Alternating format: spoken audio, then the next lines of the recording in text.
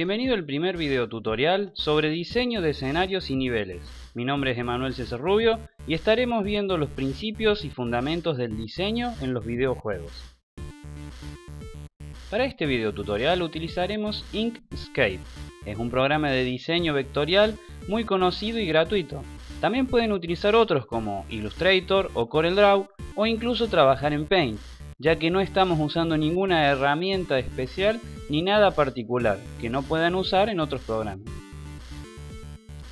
Empezamos por enmarcar cuál es la pantalla que vamos a tener, ya que esto es el área que tiene de visión nuestro jugador y es en la que nosotros estaremos colocando todos los datos que él pueda ver. Aunque aquí no lo veamos, es importante también saber dónde están los datos del jugador, como por ejemplo las vidas o los puntos. La primera información que vamos a necesitar es cuánto mide nuestro personaje. Toda la información la colocaremos como cuadros de texto o como algunas anotaciones. Todo es importante, no hay que dejar nada al libre albedrío, ya que la vamos a tener en cuenta cuando estemos trabajando en el juego específicamente, ya sea en el engine o como dijimos en el lenguaje. Colocar toda la información que sea posible que luego quite las dudas a cualquiera que se encargue del desarrollo del nivel, ya sea Información por ejemplo cuáles son los colliders, cómo son los pisos o qué forma van a tener. No es necesario entrar en el dibujo del escenario, ya que ese es trabajo del ilustrador. Pero igual, algunos dibujos o algunos símbolos le van a ayudar a cubrir después el fondo o saber bien qué es lo que querías comunicar en ese lugar o en ese sector. Recordad que esto es un trabajo en equipo donde hay mucha gente que piensa muy distinto, así que mientras más específico o más claro seas, va a ser mejor. No necesitamos ningún gráfico para poder diseñar. Incluso con algunos cubos y algunas figuras básicas va a ser suficiente. El primer dato que vas a tener que sacar en un juego de plataformas es qué tan alto va a poder saltar el personaje sin ayuda de nada. Es decir, cuál es la distancia de altura que este personaje puede alcanzar con tan solo presionar la tecla. En el nivel le podemos enseñar esa información al jugador con tan solo colocar una plataforma que se alcance de un solo salto. De esta forma ya hemos enseñado al jugador de qué es posible saltar y cuál es esa distancia. En el diseño podemos utilizar pequeñas guías que nos van a ayudar a repetir este proceso. Ya que esta altura va a ser siempre la misma, no hace falta estar inventando o volviendo a calcular. Con un pequeño cuadradito o con un número ya lo vamos a poder repetir varias veces. Otro dato es la distancia de, ese salto. Si nos ponemos a pensar en juegos de plataforma, el salto es como la mecánica básica, la clave. Así que mientras más específicos seamos en estos datos, mejor va a ser el desarrollo y más vamos a poder jugar con estas distancias, creando nuevas plataformas, creando pisos invisibles o informando al jugador dónde puede llegar y dónde no. También esta distancia nos va a permitir crear puzzles o trabas que el jugador deba superar o las que pueda alcanzar. En el primer nivel, ya de entrada, tendríamos que darle la oportunidad al jugador de saber de qué es posible ir en las dos dimensiones que tenemos en pantalla. Si vamos a estar trabajando en 2D, hay que ir ya desarrollando cuáles van a ser los atajos para llegar a lugares que no son accesibles por las teclas comunes. Por ejemplo, la escalera es una herramienta que el jugador va a tener para llegar a lugares muy altos. Si no le enseñamos a usarla, el jugador jamás se le ocurrirá ir a tocarla. Cómo resaltarla será después un trabajo de ilustrador de que se diferencie con el fondo. Una vez que tengamos la escalera, también es importante saber cuál es la distancia que tiene de salto fuera de la escalera, es decir, la caída. Esto es porque cuando quiera salir el jugador del área de la escalera, tiene que caer en algún lado y también podemos jugar con esa caída para crear nuevos caminos o alternativas para llegar a distintos bonos.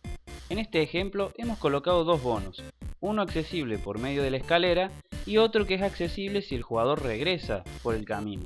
Es decir, también estamos informando que a veces hay que ir hacia el otro lado. Si continuamos con el desarrollo del nivel, tenemos que empezar a enseñarle qué zonas no puede tocar. Así que creamos una pequeña área de peligro, Para superar esta área, inventamos una trepadora. La trepadora lo que hará es que el jugador tenga que agarrarse a algo que está en el techo. Pero esta trepadora no se accede de cualquier forma. Colocamos toda la información que creemos que va a ser importante para quien programe esta zona y le decimos desde dónde empieza el agarre para esta trepadora. Sabiendo cuál es nuestra altura de salto, podemos calcular fácilmente dónde colocarla. Una vez que ya tenemos una área de peligro, también podemos enseñarle al jugador que no todo es ir hacia arriba y hacia la derecha, sino que a veces deberá regresar y volver o caer. Ya que sabemos cuál es la distancia que puede saltar de lejos, aprovechamos para que el jugador se vea obligado a caer en una plataforma que es segura, pero que se ve rodeada de pequeños puntos de peligro. Estos puntos de peligro le enseñarán al jugador a tener cuidado por donde camina y de que no todo es correr, por ejemplo.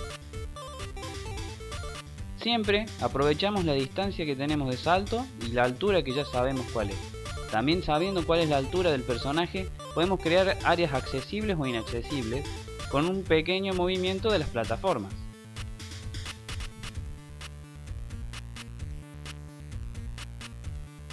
Si en algún momento quisiéramos bloquearle el paso, podemos crear objetos que sean destruibles por otra mecánica de juego. También vamos a usar en este momento un personaje que puede agacharse, que no es poco común en los juegos de plataforma, pero que se puede lograr. Para ello tan solo tenemos que empezar a definir cuál es la altura o el tamaño que tiene cuando está agachado. Aquí creamos una zona en la que solo se va a poder acceder si el jugador presiona la tecla hacia abajo, es decir, cuando se agacha y allí podrá obtener una bomba. Esta bomba ya definimos de que va a ser portátil, así que no importa qué obstáculos se encuentre en el camino, él podrá llevarla para romper las piedras que colocamos y llegar al portal destino que tenemos en un lado. Este portal también le comunicamos de que va a ser teletransportado hacia otro portal, es decir, lo vamos a llevar a ese lugar que no pudo alcanzar por un salto. Una vez más, vamos a aprovecharnos de la posición en la que va a aparecer para crear plataformas y secretos que solamente van a ser vistos si él es teletransportado a esa zona. Este bono lo vamos a colocar en uno de los bordes de la pantalla que va a llegar a verse. Y vamos a crear un nuevo tipo de plataforma que solamente va a aparecer si el jugador le salta encima.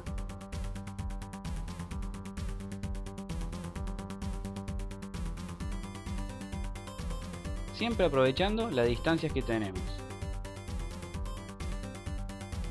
Una vez que el jugador agarre el bono, la única forma que tendrá para volver al portal o volver a subir aquí será volver a repetir el camino que es subterráneo. Pero como ya está liberado lo hará en pocos segundos. Continuamos con el desarrollo del nivel y ahora vamos a ir cerrándolo, es decir, llegando al final. Así que vamos a ver qué tanto aprendió el jugador de todo lo que ha visto en el juego, en este pequeño paso que ha hecho. Es decir, creamos un lugar con una trepadora, un lugar que va a matarlo si llega a tocarlo, creamos una escalera y ahora vamos a agregar un nuevo elemento, que va a ser un enemigo. Los enemigos podemos describirlos con mucho detalle, si es que van a ser específicos, o si ya están plasmados en un documento de diseño de juego, no hará falta, tan solo colocamos el nombre del personaje que va a ser colocado en ese lugar. Aquí como es un ejemplo vamos a utilizar una bomba que va a ser utilizada para matar al enemigo. Este enemigo solo se va a mover y impedirle el llegar a ese lugar y poder continuar. Así que el jugador aprovechará la escalera y el salto para tomar la bomba y destruir al enemigo. También vamos a colocar una obstrucción en el camino para que el jugador tenga que ir y volver. Esta bomba que pusimos recién va a regenerarse cada 10 segundos y esto lo colocamos a propósito para que utilice dos veces el mismo elemento y de esa forma también le enseñamos que algunos objetos reaparecen. Y así terminamos con el primer tutorial que no solo fue un tutorial para ustedes sino también para el jugador que llegue a jugar este nivel. Veamos cómo fue el juego entonces. Bueno, vamos a agregarle un par más de detalles, como por ejemplo desde dónde viene.